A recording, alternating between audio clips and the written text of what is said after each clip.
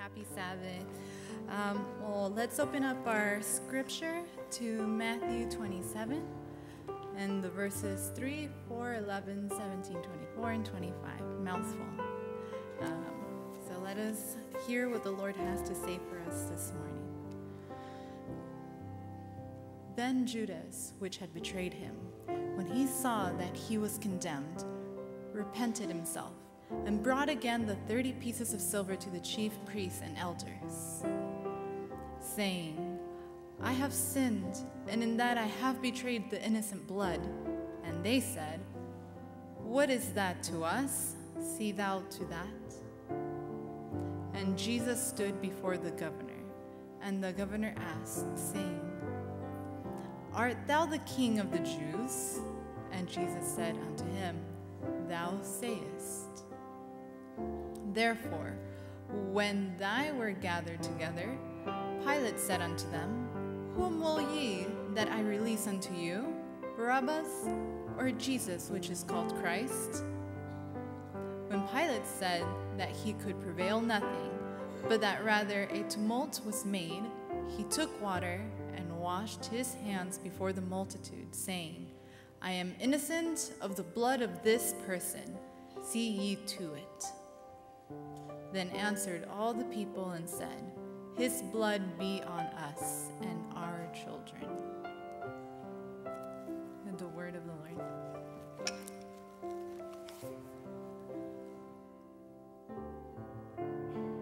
Let's try that again. Happy Sabbath, church. Better response. How are y'all doing? How are you all doing? Good. It's Memorial Day weekend. It's time to remember what Jesus has done for us. Amen? That's why we're here. Um, I want to thank Pastor Rodney, Pastor Rosetti, and the pastoral staff who have given me the opportunity um, to be here and to speak to you from this holy pulpit. And I want to thank Pastor Rodney, who is bringing me a cup of water. Two cups, wow. You're definitely going to the kingdom. Um, it's an honor, it's a joy to use the gifts and talents which God has given one for His glory. And so I want to be as careful as I can be to not say anything from my own behalf, but the words that I speak, I wish it to be the words of the Lord. Amen. Um, I see some really familiar faces in the crowd. To you, they're new, but to me, they're familiar. Uh, one specific one, I was, oh, every song we sang this morning, I guarantee you, I was up in the morning and I was listening to the Gaithers. I don't know if you guys know the Gaithers. I was YouTubing them and I listened to every single song we ironic. And then we were doing um, children's story and she was playing Jesus loves me, this I know, for the Bible tells me so. I know I'm off. Um, and it brought back nostalgic memories because that's probably the very first song I've ever learned at VBS. Back in 1995, 6. And my VBS teacher at that time is here today. Ooh, hoo, hoo, which one is it? I guarantee it's the one you don't see every week. So she's in the back. Hi, Autos. That's her waving at me. Um, she has been the very first person to really teach me the love of Jesus. And so I appreciate her being here with her husband. Um, and I'm thankful for everyone else to be here. Our message is entitled, let's see here, does this work? Judas, Pilate, Barabbas. Um, I wanted to speak on Judas, and then it just turned out to be on Pilate and Barabbas. Ever since I can remember watching the movies, watching the cartoons, uh, the director somehow portrayed Judas to be this evil, malicious, violent dude who deserved to hang himself and die. Have you guys ever um, felt that way as you watch the movies that, yeah, Judas deserved to die? Has anyone else felt that way? Or is it just me? I just hear murmurs, so I guess it's just me and maybe it's some, some of you. Um, but yeah, I, I just didn't like that. I didn't like the way the, the director was portraying Judas, and it didn't settle with me. I, I felt so bad for the guy. And so throughout the years of me studying the Bible, throughout the years of me reading the stories and, and listening to sermons and, and whatnot, I've been taking little things from each little story, each little sermon, and I want to share with you some of the things that I've learned. And we're going to look at Judas, and then we're going to look at Pilate, we're going to look at Barabbas, and we're going to see at the end what we can extrapolate from the text. Is that fair? Okay, so before we begin, what do you think we're going to do? That's right, so let's pray. Father in heaven, I thank you for the opportunity to be up here and speak for you. For I am dust, but with your breath of life, you have brought life and hope into my life. And I just pray right now, Lord, as we open up the scriptures, that you open our hearts, that you will condescend not into this very room, but into our very own minds and our hearts, and that you will reveal yourself to us. That when we leave this place, we will have encountered the Lord in a special way so, Lord, please take a hold of my lips and the words that will proceed out of my mouth. And may they bless and help every single person in this church to say, I have seen the love of Jesus. Thank you for the promise that you will never leave us nor forsake us. And we ask these things in the mighty name of Jesus Christ. Let everyone say, Amen.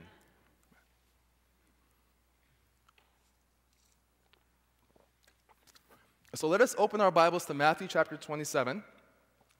What we're going to do is we're going to basically go through the first 26 verses of Matthew 27 and we're going to dissect verse by verse what's happening. But before we do that, I want to um, give you uh, a backdrop of what's taking place here. Um, Jesus is in the Garden of Gethsemane. He has prayed to the Father that this cup pass and it doesn't pass, and then the mob comes and they take Jesus away, and the disciples are terrified, they're incredulous, they're beside themselves that their Lord and Savior, who has always been in control of the situation, is somehow being taken away. And so, out of fear, out of just sheer terror, they run away. They disperse to every corner, and I can just imagine Peter saying, Everyone, save yourself! And they just run away.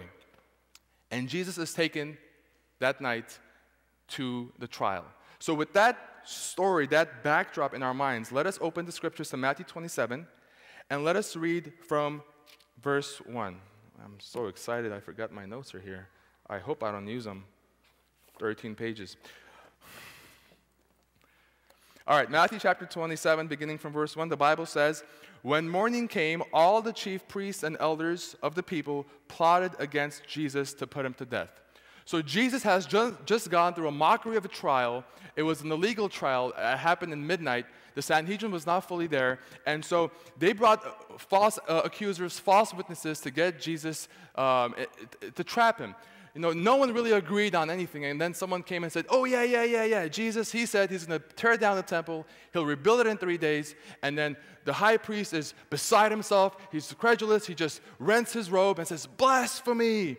And, and the religious leaders are trying to come up with a way how to get rid of this provocative rabbi who's just ruining everything that they've been trying to uh, fix. And so they're not just thinking of a temporary relief to sequester him off into some rural place in the land, but they want to permanently get rid of Jesus. So they're trying to come up with a scheme to get rid of Jesus. Verse 2. And when they had bound him, they led him away and delivered him to Pontius Pilate, the governor. This word keeps coming up again and again, again and again, again and again. Delivered, delivered, delivered. Jesus said, The Son of Man must be delivered. Judas said to the high priest, I will deliver him to you. There's something intentional about a delivery. When you receive a delivery, you are expecting it. I mean, someone is sending it to you. There's aim, there's goal, there's a purpose, there's intention, there's teleology there. And so Jesus is being delivered. And he's not really being delivered by Judas, and he's not really being delivered by the religious leaders, and nor will he be really being delivered by Pontius Pilate. Jesus himself had said, No one can take my life away from me. I lay it down myself. And so Jesus isn't going through some circuitous, you know, willy nilly kind of path. He's being delivered from point A to B, from B to C, from C to D. And he knows exactly where he is going. in the Garden of Gethsemane when the mob came to take Jesus away and Peter took out his sword out of his sheath to chop the heads off the Romans, Jesus said, Peter, what are you doing? Don't you think right now I can pray to the Father and he will send a legion of angels?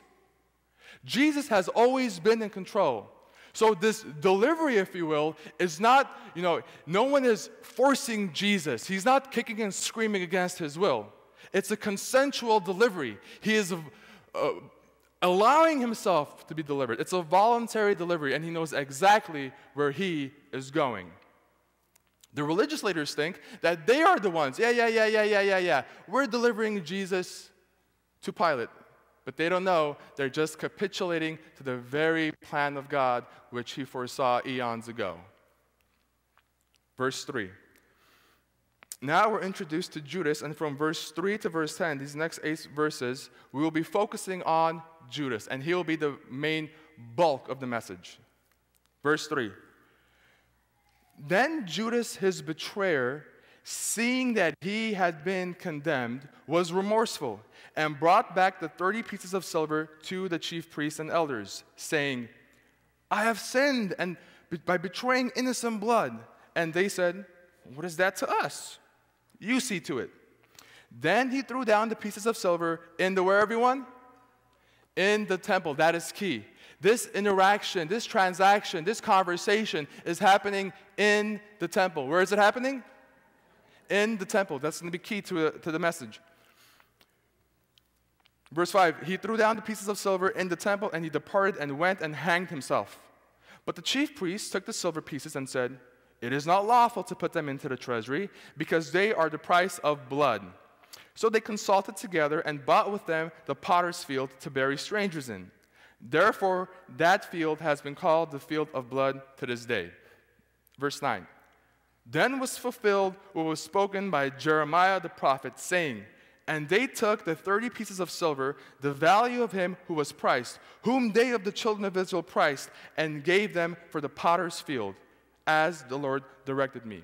Even in this tragic scene, even in this sad scene of the betrayal of Judas, of Jesus, Matthew does not want to miss the point that even this tragic event is a prophecy that's being fulfilled from the Old Testament. He wants the reader to know that this betrayal isn't just a betrayal. This is happening because the Old Testament prophets had prophesied. Now, as I was I was reading the chapter 27 on Judas, I wanted to uh, see what Ellen White had to write on this very chapter in the classic volume Desire of Ages. My all-time favorite book outside the Bible. Um, Every time I read it, I just fall in love with Jesus even more. So I said, I wonder what Ellen White has to say on this very guide, on, on Judas. So I went to the chapter on Judas and I began to analyze and I said, Are there any indicators? Are there any markers? Um, are there any waypoints? Could we, if we had not known the end, if we didn't know how the story was going to end, could we have somehow diagnosed the situation? Could we have um, seen something that would arouse our suspicions?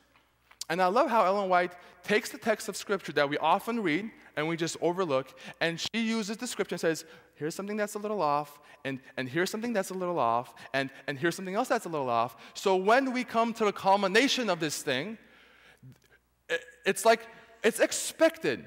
The logical, reasonable end would be that Judas would be betraying his master. So, what I want to do with you right now is I want to share with you some choice passages from the book Desire of Ages that will help us to see how, in the three and a half years of the ministry of Jesus, how Judas was, there was some things off a little here and some things off a little here. So, when we put all these things together, we have this picture.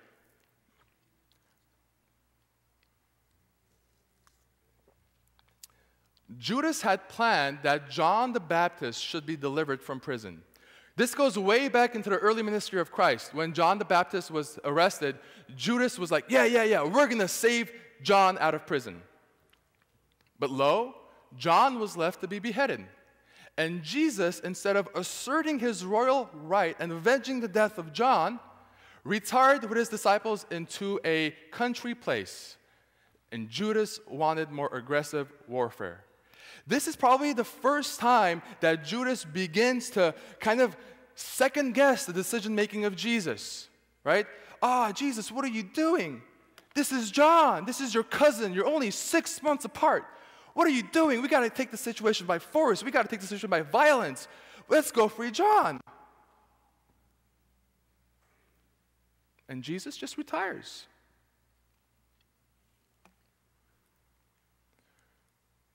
Judas was the first to take advantage, the enthusiasm excited by the miracle of the loaves. If you remember the story of how Jesus, I mean, we just even talked about it right here, how Jesus took the loaves and he blessed it, and just two, three, four, five loaves became like many loaves for 5,000 to eat, right? It says that he was right behind this. He was like, yeah, let's do this. It was he who set on foot the project to take Christ by force and make him king.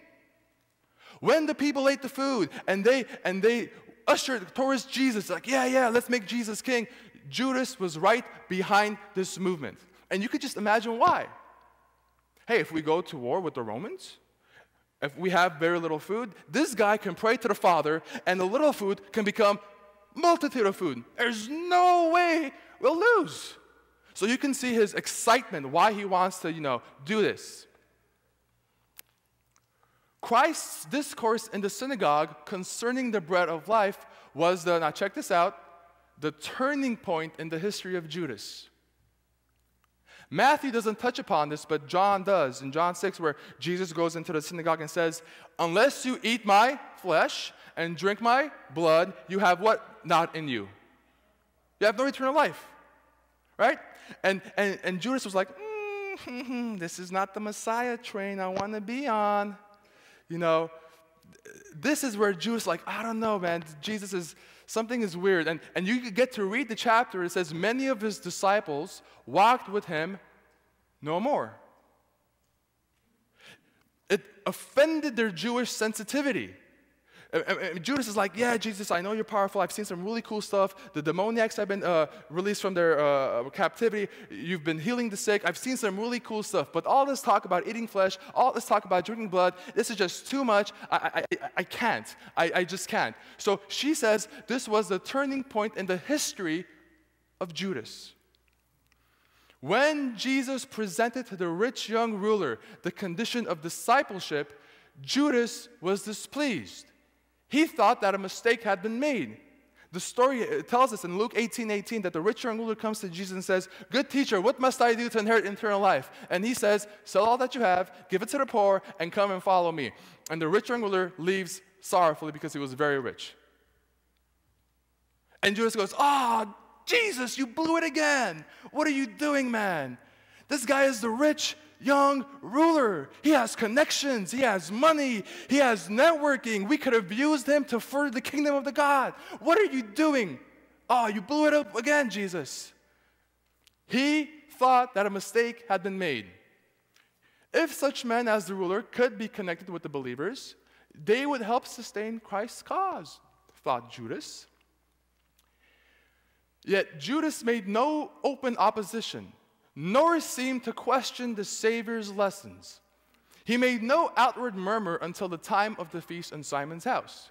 You know the story. They're at Simon's house, and Mary comes in, and she takes the alabaster jar, and she breaks it, and she begins to anoint the feet of Jesus, and she's washing the feet of Jesus, and Jesus is affirming the woman's anointing. The Jesus is affirming the woman's devotion, and Judas is like, hey, hey, hey, what are you doing? We could have sold that and given to the poor. We could have used that for the kingdom. And for the first time, you see this tension between Jesus and Judas. It's been building up, it's been just boiling inside of him. And when Mary, a woman, no less, does this act of devotion, this is like, oh, no way, I gotta say something, right? He has to say something. When Mary anointed the Savior's feet, Judas manifested his covetous disposition. But, she says, Judas was not yet wholly hardened. There was still an openness there. Even after he twice pledged himself to betray the Savior, there was opportunity for repentance. At the Passover supper, Jesus proved his divinity by revealing the traitor's purpose. He tenderly included Jesus in the ministry of the disciples. All along, Jesus knows that Judas is going to betray him. All along, at every juncture, at every waypoint, Jesus knows that Judas is going to betray him. So he's trying, he's appealing, he's inviting Judas. Even in the Garden of Gethsemane, when Jesus is, is approached by the mob and Judas comes and betrays him with an insincere kiss. I find it very ironic that Mary Magdalene was kissing the feet of Jesus with sincerity, but his own friend was betraying him with an uh, insincere kiss. Right?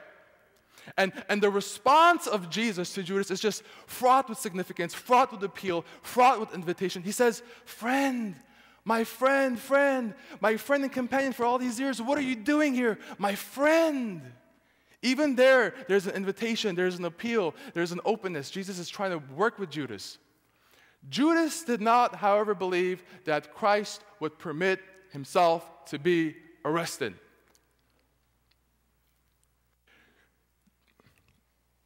Judas, just like the rest of the disciples, did not for a second think that Christ would allow himself to be arrested. Right? Judas believes that Christ is too timid, he's too retiring, he's too reserved, too humble, uh, too modest right? And, and so he, in a weird, strange way, wants to help Jesus to assert his divinity, to assert his powerful divinity to the people. So he's gonna create a situation, he's gonna force the issue on trying to push Jesus into coming out and fully rele- revealing himself as the Messiah, so then they could start chopping off the heads of the Romans and put Israel back on the spot. Right? He does not, I mean, for a first century Jew, it was inconceivable for the Messiah to be put on a Roman instrument of torture on the cross. So he doesn't think this for a moment that Jesus would allow himself to be arrested. Since he had escaped so many snares, thought Judas, he certainly would not allow himself to be taken. He fully believed that Christ would escape out of their hands.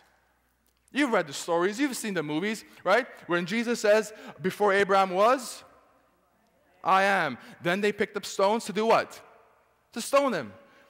And Jesus did just what he did always he made the great escape. When he goes into his hometown and, and they try to push him off a cliff, Jesus does the escape. He escapes. So, in the mind of Judas, he thinks that Jesus is too humble, too timid, too modest, too reserving, too retiring. I'm going to help Jesus out. I'm going to push him to a place where he can finally assert his divinity. But lo, that's not what happens, does it? Judas decided to put the matter to the test. If Jesus really was the Messiah, the people for whom he had done so much would rally about him and would proclaim him king. This would forever settle many minds that were now in uncertainty. In amazement, he saw that the Savior suffered himself to be led away. But as hour after hour went by, and Judas is right there, he's assessing the situation. He's trying to stay abreast of what's happening. He's going through the trial, and he's seeing that no, Jesus isn't asserting himself. As hour after hour went by, and Jesus submitted to all the abuse heaped upon him.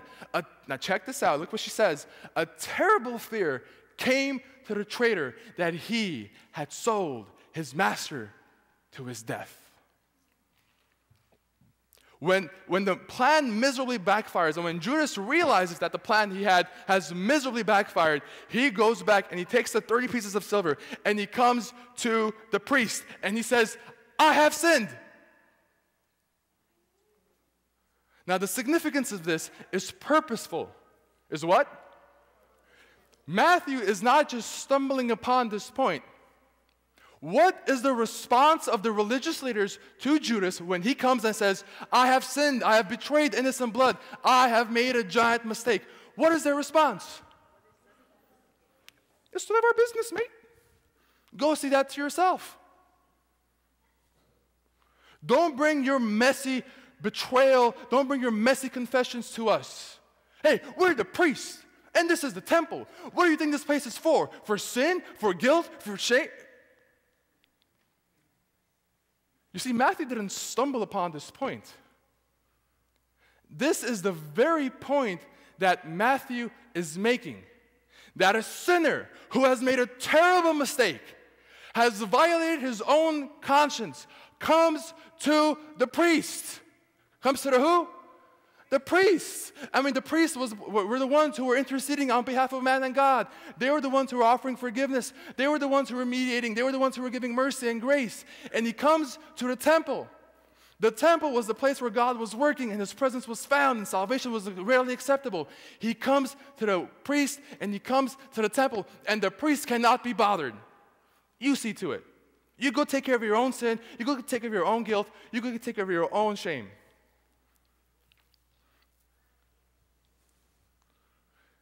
This is Matthew's point. The temple stands in stark contrast to who? To Jesus. All throughout the book of Matthew, he's making this case from the very first chapters where the angel of God comes to Mary and says, Hey, you're a virgin, you're going to conceive of the Holy Ghost, and you're going to call his name what? No, you're going to call his name Emmanuel, God with us. And Matthew is building this point that the temple used to be a place where God was working. The temple used to be a place of God's salvation. The temple used to be a place of God's presence. The temple used to be a place of forgiveness and mercy and love, but that no longer is the case. Jesus is the place for forgiveness. He's the place of, of salvation. He's the place of God's presence. That is what Matthew is building all along. And so here we have this, this purposeful writing by Matthew that a sinner comes to the temple, the place where God was working, comes to the priest, the people who represented God, and is asking, Forgive me, I have sinned, I have done something wrong. He knows that this is the place where sin is supposed to be forgiven. He knows these are the people who are supposed to forgive sin. And what is the response? You did that to yourself, mate. It's none of our business. Is there any wonder he commits suicide? All throughout the book of Matthew, we have this, this juxtaposition between the temple and Jesus. Let's, let's look at some. The temple versus Jesus. Jesus cleanses the temple. He walks in and he sees that they have turned his father's house into a den of thieves right? The money changers are there, they're doing economics, and so he flips over the money changers and he says, You have turned my father's house into a den of what? Den of thieves. He prophetically halts the temple activities. He says, This is no longer supposed to happen in my house, in my dad's house. Stop it. He then invites the blind and the lame and heals them in the temple. Effectively saying what should be happening here is love and justice and mercy and healing and restoration. But what's happening is just mere economics.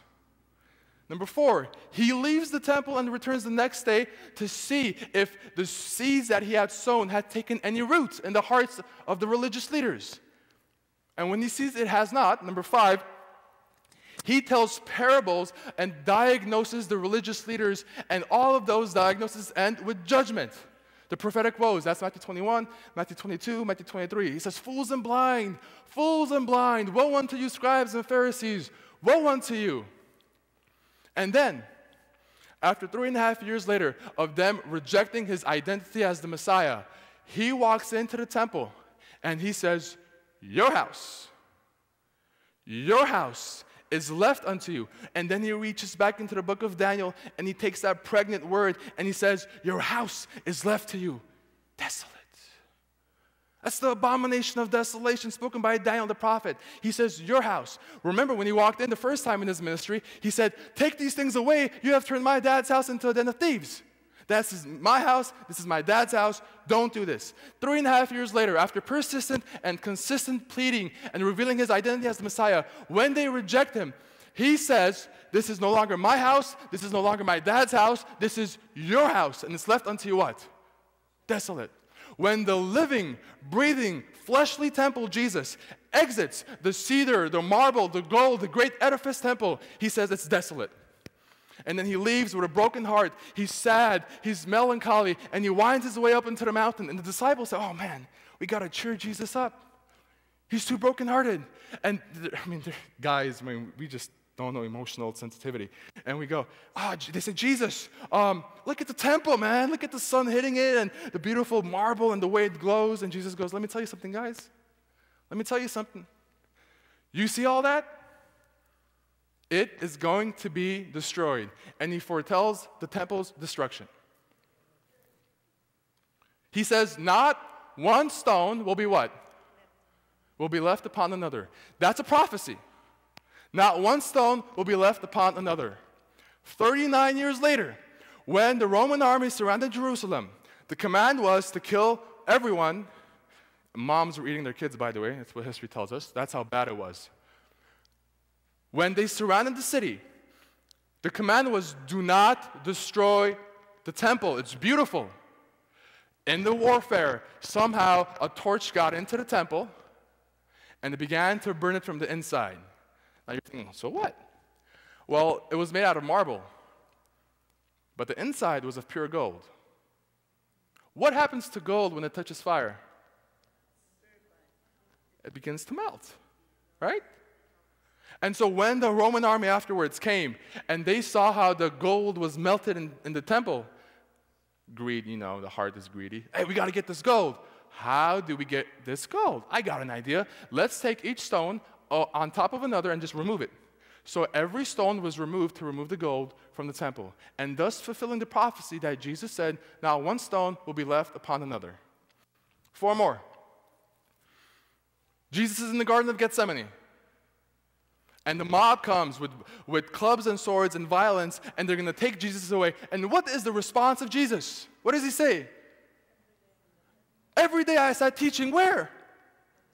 See, this is purposeful. Matthew is saying Jesus versus the temple. Jesus versus the temple. Jesus versus the temple. Hey, I was teaching every day in the temple. Why didn't you take me then? Now you're going to come and take me by force with violence, with swords and clubs? Hey, why don't you just invite me to your party? And then number 10, he's accused of blasphemy, you guessed it, against the. When they couldn't get two guys to agree on anything, they said, Yeah, yeah, yeah, yeah. Jesus, he says to tear down this temple and build it up in three days. He blasphemed against the temple. Number 11, the priests reject Judas's sin and his confession. This is where Matthew is building. A sinner has walked into the temple has walked into the priest and has said, I have betrayed innocent blood. I need forgiveness. I need mercy. Yes, even Judas Iscariot needed mercy. Can someone say amen? I need some kind of rest. I need some kind of affirmation that this too can be forgiven. And when the priests say no, by extension, the temple is saying, no, you go see that to yourself. So Judas goes and hangs himself. And finally, number 12, the temple, the temple is unable to bring peace and healing. The temple is no longer the place of God's presence. Jesus is. That's where you guys say, That's, we missed that. Let's try that again. The temple is no longer the place of God's presence. Jesus is. Much better.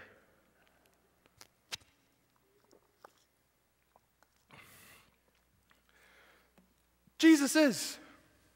Jesus said, Come unto me, all you that are what? Laden with sin and guilt and sorrow. Bring that junk to me, and I will give you what? Rest. Which raises the question if Judas Iscariot, if Judas Iscariot had gone to Jesus instead of going to a lifeless temple and to a lifeless priesthood who didn't care much about him except use them as a conduit to get to Jesus. If Judas Iscariot had gone to Jesus with sincere repentance and sincere despair, what would Jesus tell him? Would he have said the same thing as the religious leader said? See that to yourself, mate. Go figure that one out. Is that what Jesus would have said? No. Jesus would have said the very same thing he told every sinner. Come to me, all you who labor and are heavy laden, and I will give you what? Rest. Take my yoke upon you and learn from me, for I am gentle and lowly in heart, and you will find rest for your souls.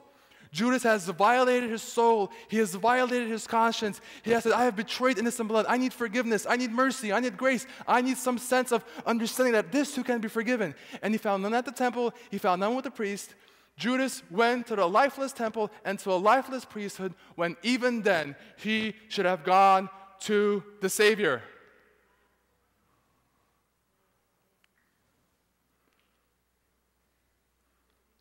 The, the, the, the significance of this is purposeful. Matthew isn't just saying, willingly writing this, he is trying to let us know that the temple is no longer the place of God's presence. The temple does not know how to handle sin anymore. The priests don't know what to do with a, with a, person who has betrayed their master, who has betrayed their friend, who has betrayed their Lord. And so their response to him is, See that to yourself, mate. We're busy. And in fact, what takes place right after then is that the religious leaders get into a little argument of whether or not it is appropriate or inappropriate to use the money that Judas just bought into the temple's treasury. Because after all, it is blood money. The gravitas of Judas hanging lifeless from a tree is juxtaposed with an insular little argument with the religious leaders amongst themselves of whether or not to use this money that Judas just brought back, because it's blood money. Which they knew was the blood money because it was money of betrayal.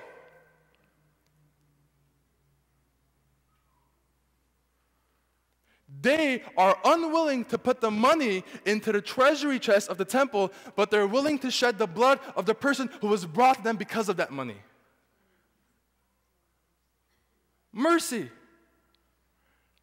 They're having a little argument amongst themselves about how to use this money when there's someone hanging from a tree, lifeless, who was seeking for forgiveness, for mercy, for grace, for restoration. Craig S. Keener writes on this on the commentary of the Gospel of Matthew. He says, This narrative also further indicts the heartlessness of the priestly leadership, who value laws of ritual purity more highly than their God given responsibility as shepherds of other lives among their people. Lest modern Christians be tempted to conceive uh, these leaders as ethnic rather than political and religious terms, he's like, don't think of these guys as just merely Jews. They're just people we should take note how many churches today seem more concerned about petty church rules than about the life and death needs in the communities around them. Lord, have mercy. They're very uh, careful on how to keep their in house rules, but they care nothing about a man who is seeking for forgiveness. I wonder, church, if we ever are like that. Mercy. He continues The leader's blatant unconcern for justice or for his life contrasts starkly with their attention to purity on details. And Jesus even indicts the religious leaders in, in Matthew 23. He says, You pay tithe of mint and cumin and, and anise. He says, Yo, you're so nice, you're so good, you're so fastidious. You like to divide one cumin seed out of the other nine cumin seeds. You like to separate the one anise seed from the other nine anise seeds, one mint leaf from the other nine mint leaves. But you have neglected the weightier matters of the law love, justice, and mercy. And here comes Judas seeking just that love, justice, and mercy. And what he gets is just total neglect. See that to yourself. Is it any wonder why he committed suicide? Are you beginning to see Judas in a maybe different light than what maybe the directors of Hollywood are portraying him to be? I hope so. This is critical. Religion may fail us, but Jesus never will. Religion may fail you. Your church may fail you. Your denomination may fail you. Your pastor may fail you. Even I, I know it's hard to believe, but even I can fail you. I can disappoint you, I can hurt you. Religion may fail you, the church may fail you, but Jesus never will. And what's happening today is people are going to religion, people are going to Jesus, uh, to church when they should be going to Jesus. Right? I wonder if we, when people come to us with messy situations, with their sin, with their guilt, with their shame, I wonder if we, like the religious leaders, tell them, see that to yourself. I'm too busy. There's too much going on in my life. Go fix your problems, and when you have your ducks lined up, come to us and we'll help you. I hope that's not the case, beloved. I hope that's not the case. Another thing that's happening is that guilt has to go somewhere. Guilt has to do what? I didn't realize how dry it gets up here when you speak. Okay, guilt has to go somewhere. When Judas comes to the priests and he says, I have betrayed my master, I have sinned, right? He is coming with despair because he knows that the temple is the place where sacrifices are made, right? The blood is spilled, and the sinner can be released and be go, home free, right? But he doesn't get that. He doesn't see any of that. He is now holding on to his guilt. He's holding on to his what? He's retaining his guilt. See, guilt needs to be discharged. It doesn't just sit so nicely within us, right? It's like sand. When you go to the beach and you have fun and then you're about to go home, you get that stuff in your hair, your hands, it's between your toes, and you just want to go home and shower. Is it me or is it all of you? It's all of us, right? We just don't like that stuff. See, you can wallow in sin, you can have a great time in sin, but sin needs to be discharged somehow. Because if it sticks to you, if, if you retain your sin, you will be destroying yourself. You're going to implode, it'll be self destructing. And it might not end up like Judas. You might not hang yourself from a tree, but you might act out in different ways, right? You might be starting a new habit. You might start drinking or self medicating or every other uh, distraction under the sun, whether it's watching movies all the time and TV shows and, and music and, and the games, just so your mind can be distracted so you don't see yourself as you really are a sinner in need of grace, full of shame and guilt, and that guilt has to be discharged because if it has any remaining power in you, it will destroy you in the same way it destroyed Judas. Guilt has to go somewhere. Now let's go to Pilate. Uh, let's go to Matthew chapter 27. Let's begin verse 11.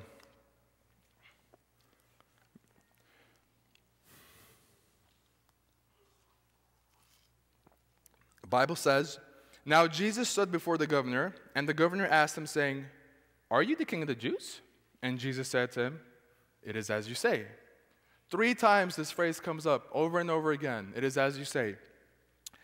And while he was being accused by the chief priests and elders, he answered nothing. Then Pilate said to him, Do you not hear how many things they testify against you? But he answered him not one word, so that the governor marveled greatly. The reason that Pilate is marveling greatly is because in Roman law, if the accused was being bombarded with accusations and, and, they were throwing hurls of accusations on him, and if he did not give a rebuttal, if he did not stand up for himself, it was assumed that he was guilty. So when Jesus is standing there and the mob is just throwing all these accusations against him, and, and you can just sense Pilate's frustration. It's like, oh, come on, man, say something, make a defense for yourself. Do you not hear what these guys are saying against you?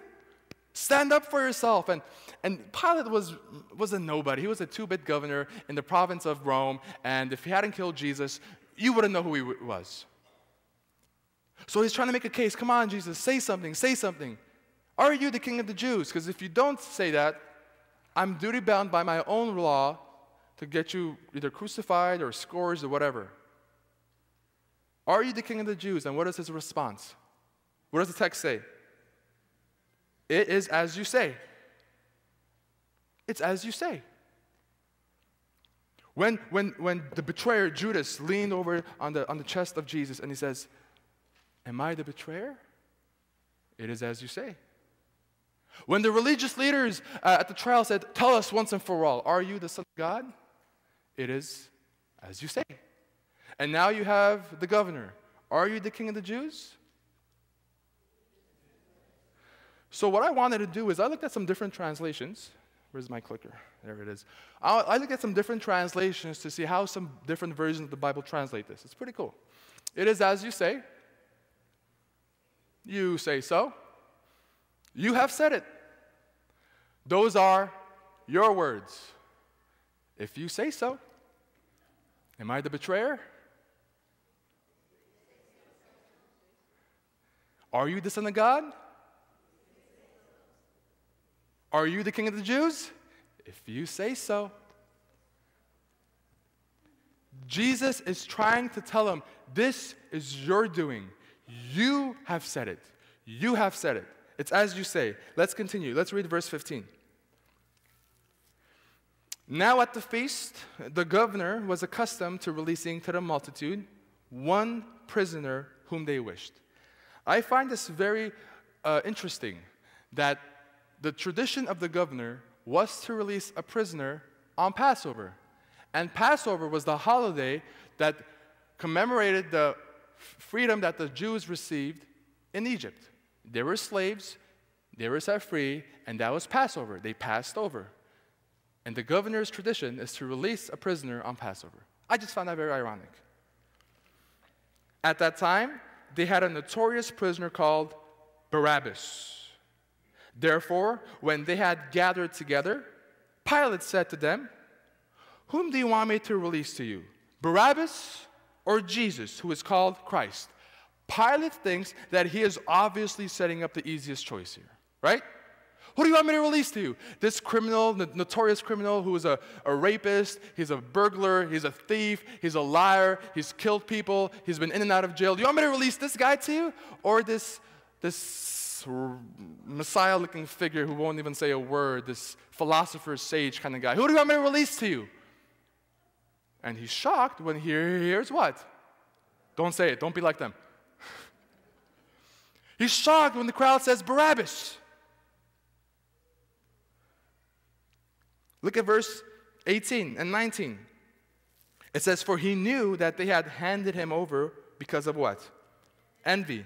Now, verse 19, while he was sitting on the judgment seat, his wife sent him, saying, Have nothing to do with this just man, for I have suffered many things today in a dream because of him.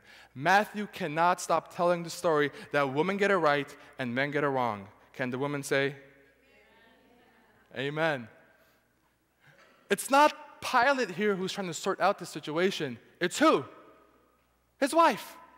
In the house of Simon, when, when Mary was anointing the feet of Jesus and Judas was beside himself, who was getting it right? Mary, the woman. That's another subtext of, of Matthew. The women are getting it right, the men are getting it wrong, and then we're going to see in the end of Matthew how the women are the ones who are telling the story of the resurrection. The women get it right, the men get it wrong just like Jesus, he takes the seemingly insignificant and the seemingly weak and he uses them to proclaim the good news, to confound the wise. When society deems this person to be lower than you, Jesus takes that person and raises that person up. Amen? Women get it right, and men get it wrong. Man, I'm sorry, but I gotta stay true to the text. And women, I love you too. All right. Chapter, tw- uh, chapter 27, beginning from verse 20, the Bible says, But the chief priests and elders persuaded the multitudes, they were good uh, salesmen, persuaded the multitudes that they should ask for Barabbas and destroy Jesus. The governor answered and said to them, Which of the two do you want me to release to you? They said, Barabbas. It's like, come on, tell me, who do you want? We want Barabbas. What? Barabbas? Why? Why Barabbas? Why not Jesus? What do you want me to do with this Jesus guy? And what are the response? Crucify him. What? Crucify him. Crucifixion is given to the most malignant of brigands, the most terrible criminals. Why crucifixion? What has he done?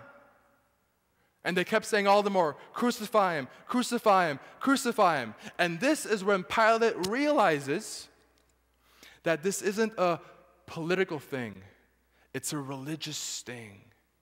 It's a what thing? Yeah, there's professional jealousy and professional envy. And when he realizes that this big mess, I mean, he woke up that morning and he's like, ah, oh. and then all of a sudden this big thing just falls on top of his administrative desk. He's like, oh, how, do, how, do I, how do I get this mess out of my, out of my life? I mean, I, I wasn't expecting this. He has this mob outside who is screaming for crucifixion. He has this quiet Messiah who, who, won't say anything. And he really doesn't care for either one of them. He doesn't care if Barabbas is set free. He doesn't really care if Jesus is set free. So it's like, ah, I don't want anything to do with this. And I just, I want to, this, is, this is not me.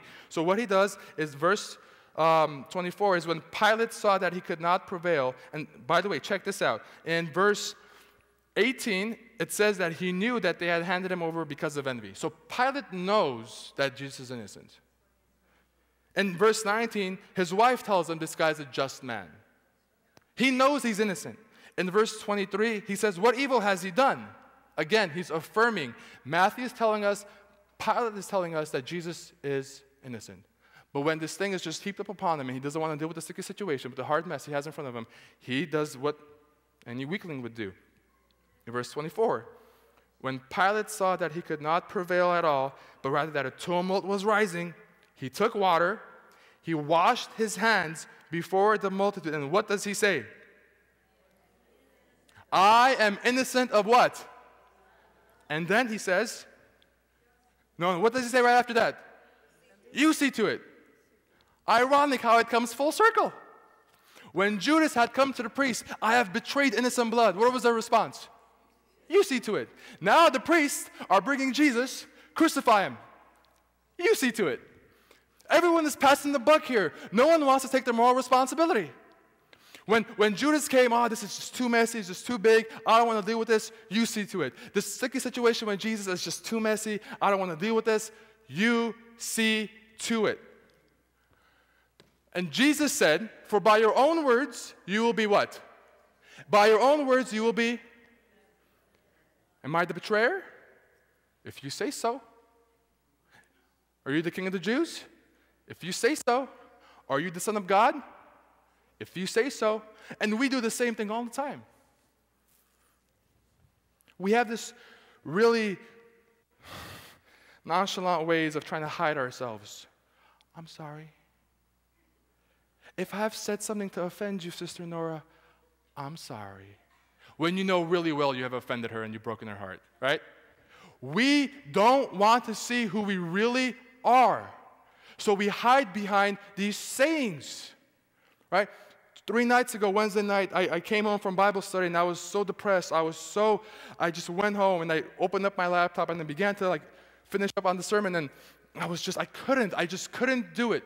I left home, I went for a walk about 45 minutes, and I'm praying and I'm weeping, I'm crying. I'm like, Lord, remove this guilt. I see my, myself as you see me. I'm a sinner in need of grace. And I dared ask Jesus, Lord, show me my Judas like qualities. Lord, have mercy. We cannot escape who we really are in our innermost souls, when we turn the TV off, when we turn the music off, the television, the, the movies, the games, the sports, the video games, the social media, when we turn all of these things off and we just sit in the quietudeness and in the stillness and we ask God, as I dared ask Him, show me my own Judas like traits, you will be shocked on how much you are like Judas. The guilt, the shame will kick in then you'll have an option. Do I retain this or do I discharge this? If you retain it, you're going to end up like Judas. You're going to destroy yourself. Whether that's movies or alcohol or, or you know, going out with friends all the time or always on social media, just so you don't have to avoid being quiet and self examining yourself. Or you can take it to Jesus and have Him wash you from your sins. Amen? Where's my clicker? Okay, in cowardice and political expediency, Pilate chooses the path of least resistance. You take care of it. The priests and Pilate want nothing further to do with the situation and wash their hands of it. It's too messy. I, this Judas thing is too messy. This, this Jesus thing is too messy. You see to it. But Jesus will not go away easily, beloved. He cannot be dismissed so quickly and casually. Can the church say amen?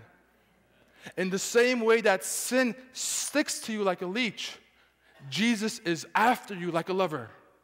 He wants to embrace you and take you away from sin, only if you let him, though. Now, check this one out. This is crazy. Astonishingly, the people embrace the moral responsibility the priests and Pilate sought to what? Wait. Okay, okay, okay. You don't want to deal with, with Judas? We'll deal with him. Pilate, you don't want to deal with Jesus? We will deal with it. And what is the response?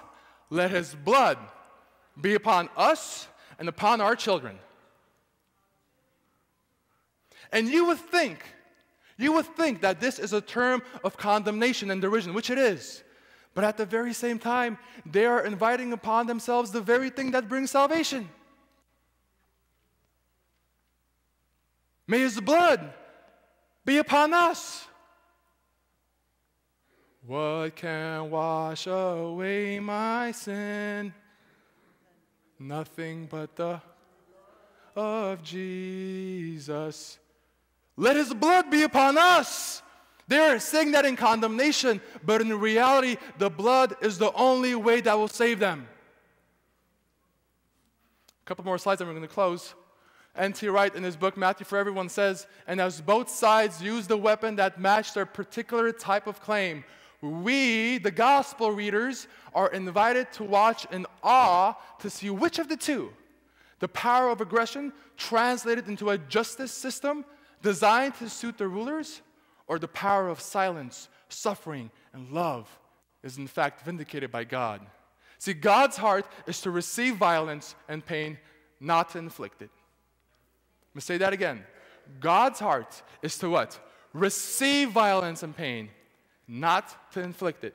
He didn't come to put people on crosses, He came to be put on the cross so you can be set free. And when Jesus dies, on Passover no less, Barabbas goes free. Pilate is there. He's like, What do you want me to do with Jesus? Crucify him. What about Barabbas? Set him free. So Jesus is condemned, Barabbas goes free, and it happens on Passover. Jesus is condemned, Barabbas goes free, and when does that happen? On Passover. N.T. Wright continues The point for Matthew is that all are guilty. The chief priests are guilty, the elders are guilty, the disciples are guilty, Peter is guilty, Judas is guilty, the mob is guilty, Pilate is guilty, the Roman uh, soldiers are guilty, everyone is guilty. The chief priests and elders who hand, uh, have handed Jesus over, Pilate, the weak bully, and the crowds themselves. And part of the reason for stressing universal guilt is that with the death of Jesus, redemption is offered to how many? To all. What happened close up in sharp focus to Barabbas is now open to all. When Jesus dies as king of the Jews. He draws upon to himself the guilt and death of Israel and thence also of the world. Because remember, guilt has to go somewhere. If you retain that guilt, if you retain that darkness, that bleakness, it's going to destroy you. And there's no better place than to take it and give it and hand it over to Jesus. Right? If Judas had gone to Jesus, he would have received mercy, he would have received compassion, he would have received forgiveness. Oftentimes, we may go to our pastors, we may go to our church, we may go to the religious leaders, and they will let you down. But if you go to Jesus, He will never do what? Never let you down. He is a faithful friend in need. If you don't, you're going to hold on to that guilt, and that guilt will kill you. Now, I'm going to make an appeal. I'm going to make an altar call. I know we don't do this often, but I'm going to make an appeal in the altar call, and the altar call is based on these three characters Judas, Pilate, and Barabbas. And I'm going to ask you if any one of these fits you, to come forward and to give that guilt, to give that sin to give that shame to Jesus this morning. You know, I was thinking the past two weeks, man, am I just a preacher? Am I just a guy who knows the Bible and people come up to and ask questions? I come to church, I dress nice, hopefully. Am I just that guy that people come up to and say, hey, hey, he's a Bible guy? What about you, Jesus? Do you have me? And I ask God Lord, show me if there's any identifying markers in my life with Judas, with Pilate, and with Barabbas. And you know what? It's easy to do. The shoe fit. So I'm asking you this morning. I need this back on, guys. I need the slides back on. I'm asking you this morning if you have guilt, if you have shame, if you have sin that you're holding on to, to bring it, to leave it right here with Jesus. I am Judas.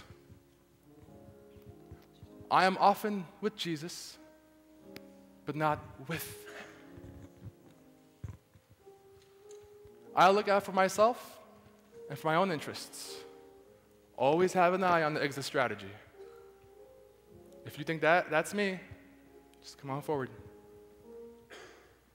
I am frustrated often with Jesus and his decisions in my life.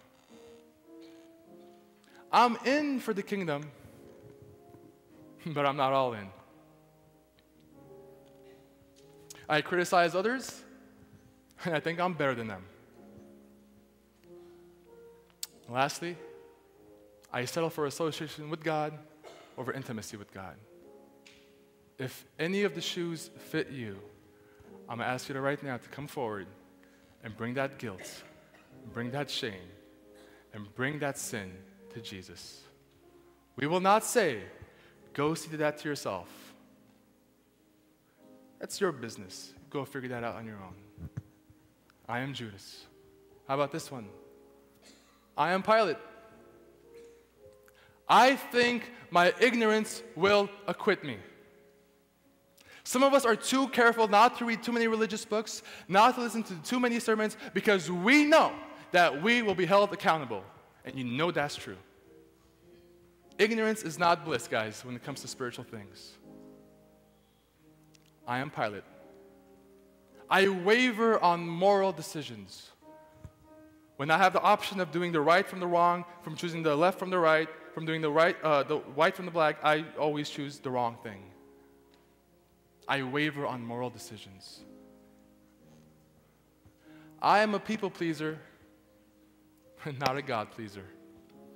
Yep, that's the shoe. That's the shoe that fits. Just come on forward. I want space for everyone here. Doesn't matter who's watching you. If the Spirit is speaking to your heart, just come forward. I knowingly violate my conscience. I'm gonna be honest with you, church, and I'm not trying to manipulate you. I can't imagine that anyone cannot respond to this one unless you're a different person than I am. I knowingly violate my conscience. I take the path of least resistance. When I'm stuck in a, sticky situation, a hard, messy situation, I think to myself, how can I get out of this quickly? I take the path of least resistance. I'm a Judas. So maybe you might be a, a Judas like me, or maybe you might be a Pilate like me. Maybe you're a Barabbas. I am a notorious sinner. If you realize that your shame and guilt is in you and you want to release it to Jesus today, just come forward. I do not deserve mercy. I do not deserve freedom. I do not deserve Jesus' death in place of mine. That's the glass slipper. Just come on forward. I am Barabbas. The name Barabbas means son of the Father. Jesus goes to the cross, and Barabbas, the son of the Father, is set free. You are condemned, guilty, but Jesus goes to the cross for you, and you are Barabbas, the son of the Father, goes free. And by God's grace, I am saved. We're going to be singing the song, and the words of that song will be up on the screen right now. And I'm going to invite you to bring your guilt to bring your shame, to bring your sin, that meanness, that, that insularity, that uh, disingenuousness, that self centeredness, that selfishness, that blackness, all that goop, all that stuff that you retain, bring it to Jesus this morning. For all the Judases, for all the Pilates, and for all the Barabbases, we bring our guilt to Jesus right now. We're going to be singing this song right now. I will follow thee, my Savior. And I want you guys to sing as an act of worship, as an act of thankfulness to the Lord, as you're leaving your sin with Jesus. Let us sing.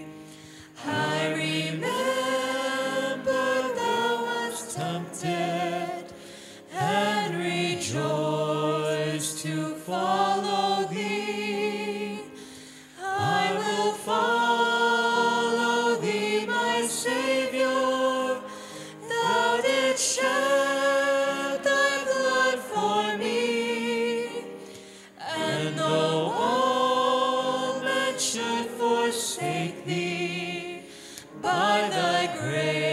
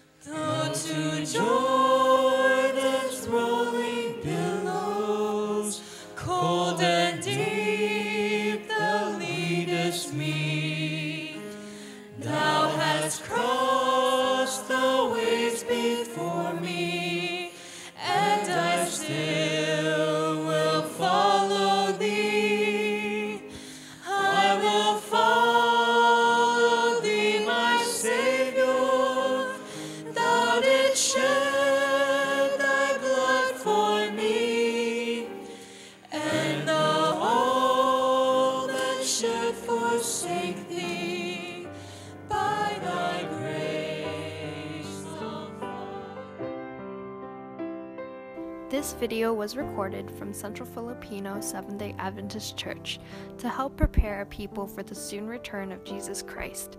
If you would like to visit us and for more information, go to www.centralfilipino.org.